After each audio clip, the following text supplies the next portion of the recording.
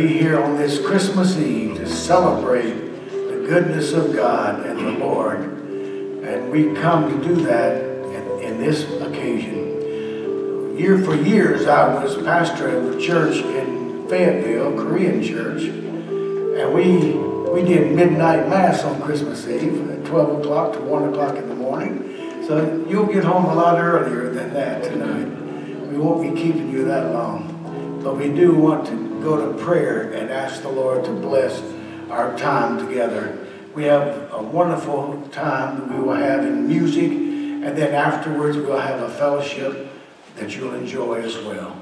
Father in heaven, we thank you for this wonderful privilege to come together on Christmas Eve 2023 and rejoice in the God of our salvation, to rejoice in our Savior, Jesus Christ.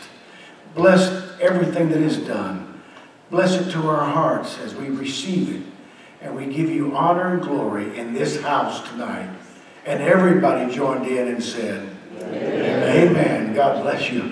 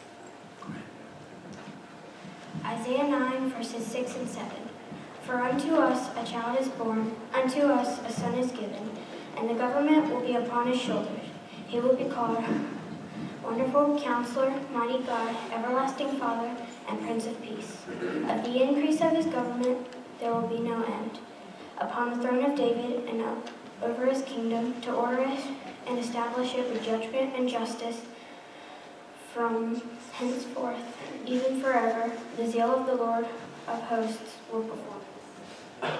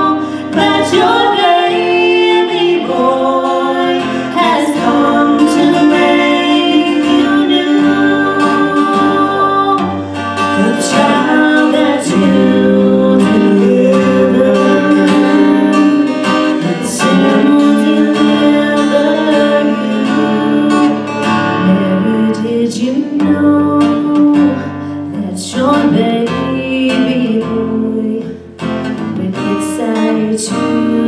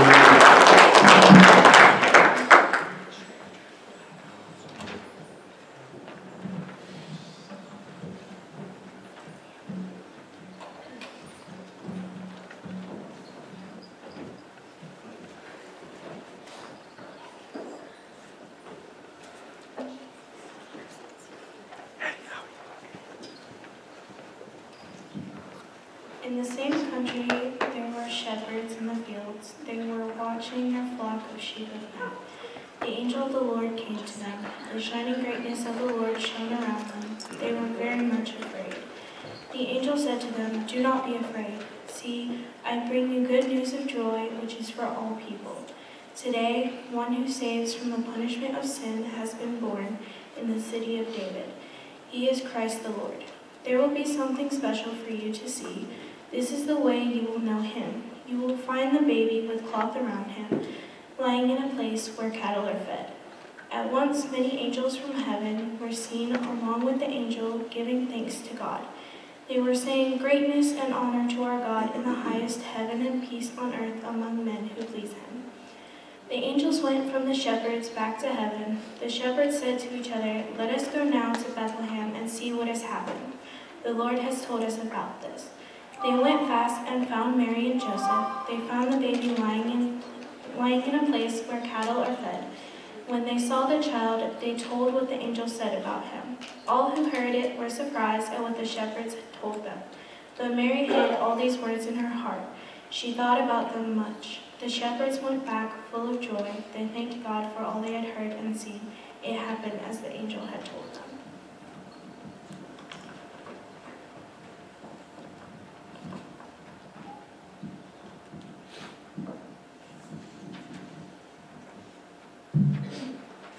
Change your position and stand with us. It may be good for you to do that. And we're going to sing Joy to the World.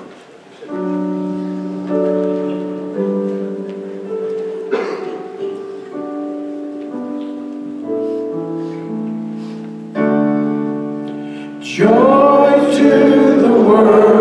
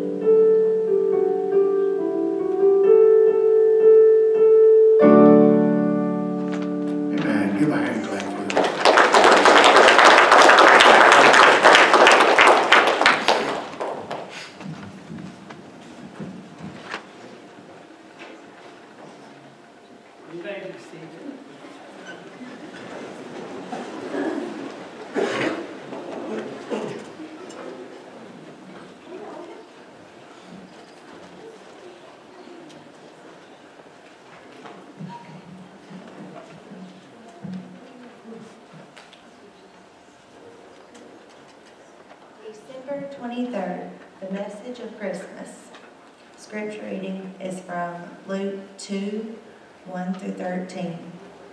The angel said to them, Do not be afraid, for behold, I bring you good tidings of great joy, which will be to all people. For the shepherds watching their sheep outside Bethlehem one evening, the sudden sight in front of them was terrifying. A glorious angel shining brightly in the sky was enough to make anyone rub his eyes and take a second look and run. But the first words from the angel's mouth were words to calm their frightened hearts. Do not be afraid. One of the messages that we learn from the Christmas story is that of peace. While God might appear overwhelming at times, He always wants to give us the assurance that with Him peace reigns, even in the announcement of His Son's birth. The peace we receive from the Christmas message calms our hearts, letting us know everything will be all right as long as we trust God. However, it also includes a message of peace that assures us that Jesus and his methods of teaching were all designed to draw us to the Heavenly Father. The same is true of his birth. There was no need to fear. Salvation would soon be realized for all mankind. Some people have never heard the message of Christmas. When we tell them why Christ came, they may be frightened. However, there is no cause for alarm. The gospel is good news, and God will give them the peace they need to submit to Him. Dear Father, thank you for those who humble themselves before you and receive the same good tidings today. December 24th, God's awesome love. December 24th, God's awesome love. Scripture reading Luke 2:15 through 20. The shepherds returned, glorifying and praising God for all the things that they had seen and heard, as it was told to them. With great awe and complete reverence, the shepherds looked upon baby Jesus. It was true, everything, all of the words spoken to them by the angels in the sky were true. The Savior had arrived. And almost instantly, the shepherds realized that the king, shepherds realized that this news was so good that it did not need to be hidden from anybody. As, as we grow in our relationship with Christ and deepen in our knowledge of Him through intimacy, there is no need for there is no need for us to keep this information to ourselves. In light of Christ, what He has done for us through His birth, but not only His birth, but His death and resurrection, we should desire to share this with others. Our method of sharing this good news may vary, but regardless of the method which we share the prophecy, Christ, the message of Christmas, this awesome love of mankind, is it, it is a story of that warrants us from being told again and again. December 25th. The scripture is John 14, 1 through 4. In my Father's house are many mansions. If it were not so, I would have told you. I go to prepare a place for you. Jesus came to earth with the view of offering you salvation. He wanted you to have a restored relationship with the Father, a relationship that was so close, so intimate, that you would have your special place in the Father's house. In John 14, 2, Jesus says, In my Father's house are many mansions. If it were not so, I would have told you. I go to prepare a place for you. Christmas is the holiday that we celebrate God coming to make his home with us for a season so that he would could make our eternal home with him in heaven. In the hymn, Hark the Herald Angels Sing, Charles Wesley describes the relationship Jesus came to establish. Hail the heaven-born Prince of Peace. Hail the Son of Righteousness. Light and life to all he brings. Risen with healing in his wings. Mild he lays his glory by, born that man no more may die. Born to rise the sons of earth, born to give them second birth. Hark the herald angels sing, glory to the newborn King. Christ's birth was God's reaching out to you. Celebrate the season.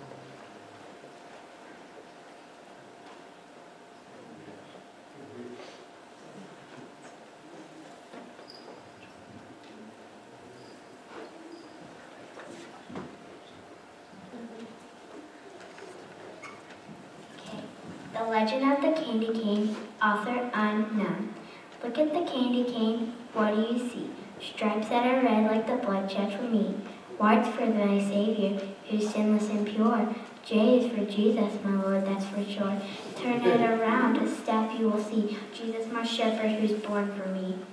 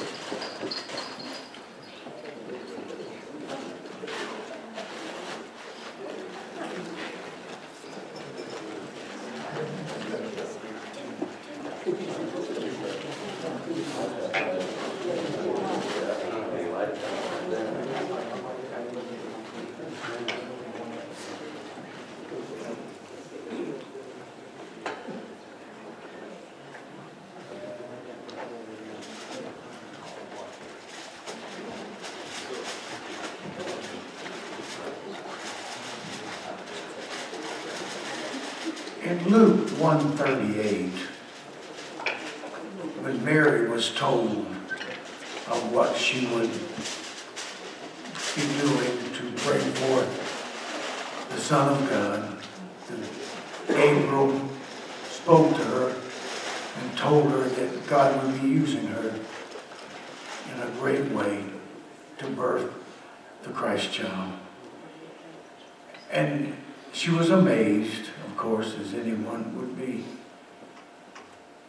But she said this phrase in verse 38 of chapter 1 of Luke Be it unto me according to your word. God has given us many promises throughout the Bible.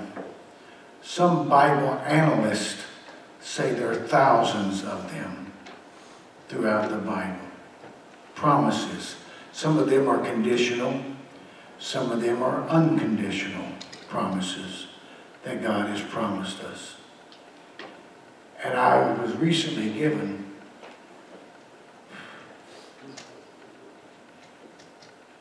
a bread box that used to be on a lot of people's tables many years ago.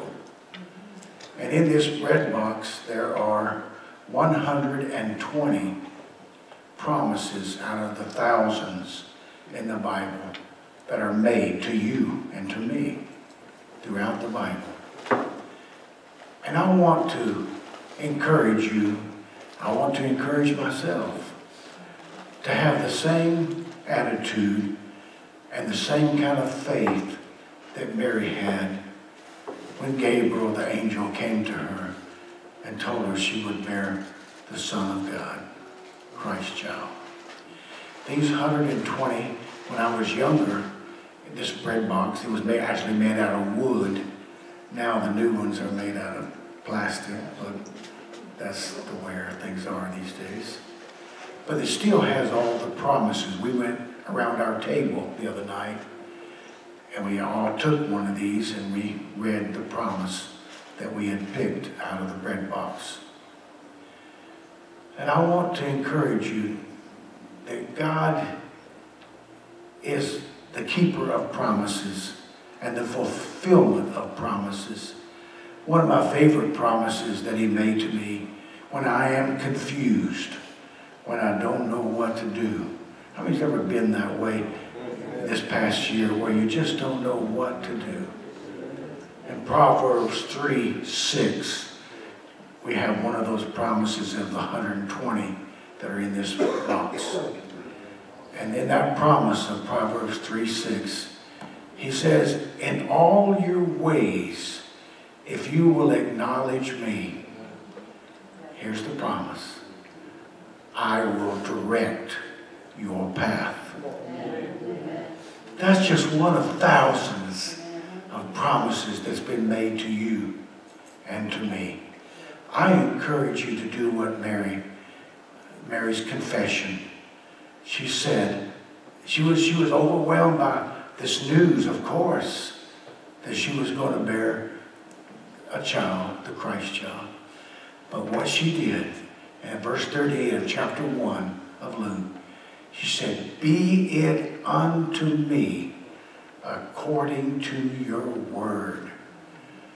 This is God's word, his promises.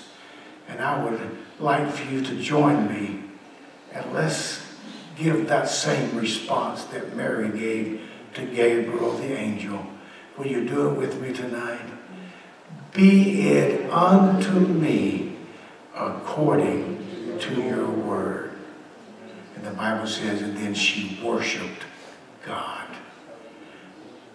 There are only 120 here, but there are thousands in the word that are promises that God has made to you and me.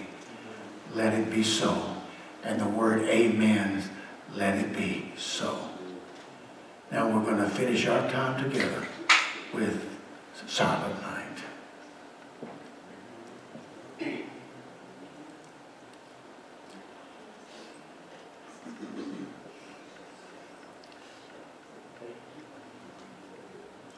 Let's stand to our feet so we can be prepared for that. And Barb's going to be coming to the piano to do that for us, to play that.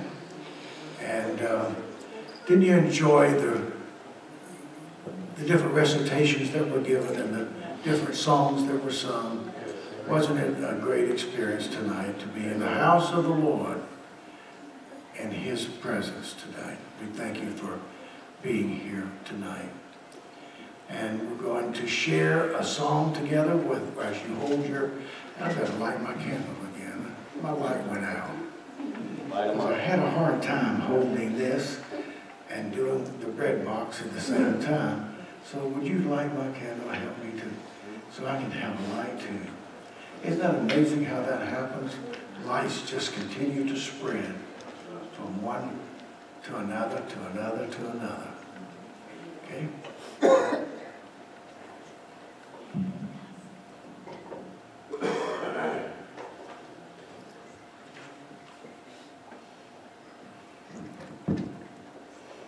May have to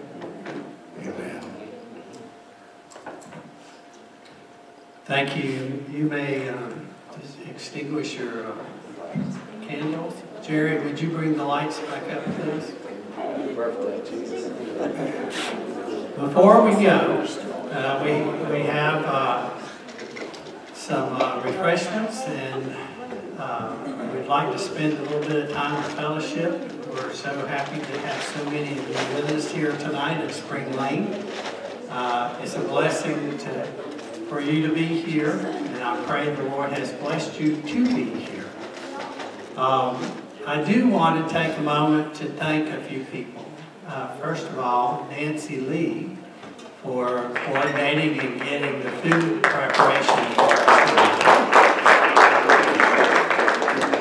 And I want to also give a very special thank you to Erin. She's, she's about eight and a half months pregnant, as you noticed. And she did a wonderful job of singing tonight. Thank you.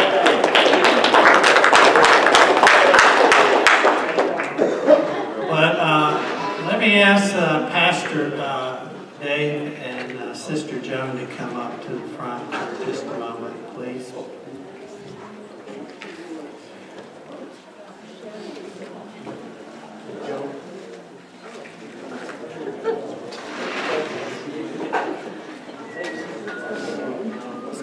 Christmas time certainly is a time of gift giving, and we emphasize the fact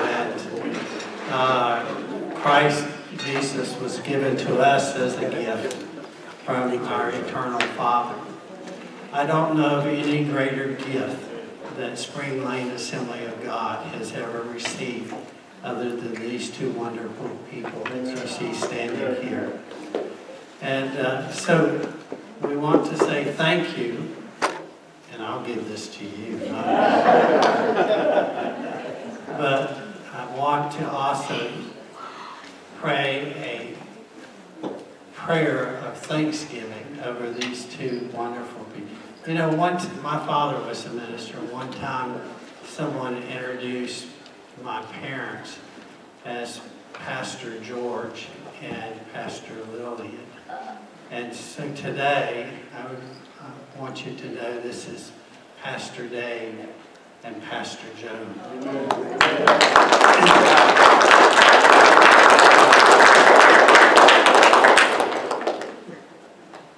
Let us pray. Heavenly Father, we are so thankful that you created us and created us with purpose. And that you have sent the greatest gift that we could ever have in the form of Jesus Christ. And Father, we thank you for the blessing that you have given us and Pastor Dave and Pastor Joan. They have loved us just as you have loved us. They have cared for us. They have cried with us. They have celebrated with us, Lord. And we are so thankful for the gift that you've given us. And we just ask your blessing and favor upon them, Lord. In this season of gift giving, we can barely give back to them what they have given to us. And we want to express our thanksgiving to them. Father, I'm thankful for each one that is here tonight, and I pray that you have spoken to hearts, many hearts. And now, as we uh, conclude this evening, I just pray for our spirit of fellowship as we enjoy the food that's been provided for us, and we ask you to bless it. In Christ's name, amen. Thank you all. And we're, we're very happy to Pastor Bullen. Pastor Bullen, we're talking about you. Yeah. We're, we're so glad to have Pastor Bullen here and his wife.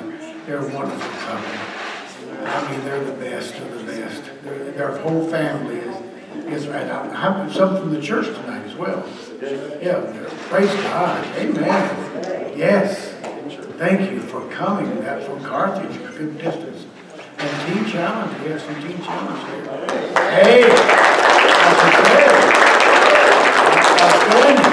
Yes. Well, you, we're so glad everyone is with us. We almost had a live birth here. But uh, maybe next year. And God bless you. Join, get in the, in the line and, and be blessed with the food that has been prepared for you. God bless you. And Betty, we're glad to have you here. Betty May's here in the house. Elvis left, but Betty's here.